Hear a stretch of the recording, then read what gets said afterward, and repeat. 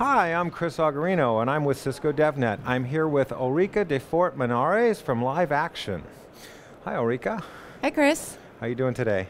Very good, thank you. So Ulrica, I understand you guys are out there solving some modern problems for our customers. Can you tell us a little bit about what that problem is? Yes. So with digital economy, there are a lot of changes going on in your infrastructure. You want to be able to make that transition without introducing a lot of uh, additional complexity in your environment. Okay, and so what is it that Live Action actually brings to the table that helps us solve those problems?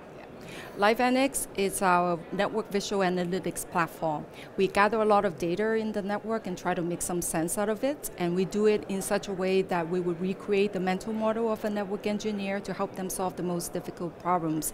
At the same time, it's intuitive enough such that network operation folks can make some sense out of it without being network experts.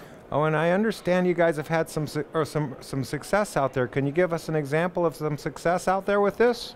Sure. At last Cisco Live in uh, Las Vegas, one of our customers, Huntington Bank, they were rolling out 125 sites. And because of the improved visibility, they were able to roll out additional 825 sites, and they completed that rollout 80, uh, 50% ahead of schedule.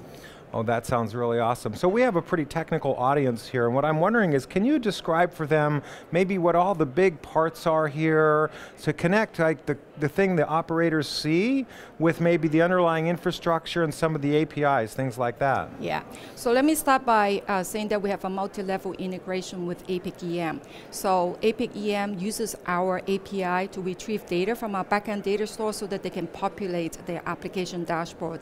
In turn, we use APIC EM API such that we can learn about the network, the inventory, um, the network device uh, metadata so that we can actually pro provide with some very detailed um, topology. And from there, you can start to you know, visualize all your various traffic in your environment. You know, for maybe by and large, you want to load balance your traffic. But for critical traffic, you, more, you may want to send them down your uh, MPLS path because they are you know, delay sensitive. Um, you know, at the same time, you know, you can actually look at, use our site-to-site -site analysis to visualize how all the traffic are interacting among all the different, um, among all the different sites, and you can spot why one of the sites has more traffic and do deeper analysis. You can look at what applications, the corresponding DSCP value, as well as, um, you know, what's, which service provider links is going out on. You can even sit back and watch how the traffic are going in and out, you know, from your environment. That sounds very interesting.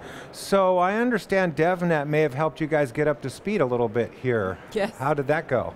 Oh, great. Uh, what I love about uh, most about it is the online, the Swagger documentation because I can actually make the API call myself and retrieve all the information before I even got the engineering involved. That way it really streamlined our development process. Well, that sounds really exciting. Well, I would like to invite you, as we roll uh, the last couple seconds of this video, to go to liveaction.com and you can actually download a trial version of their software. And if you want to know more about the APIs we've talked about, come on over to developer.cisco.com and visit Cisco DevNet.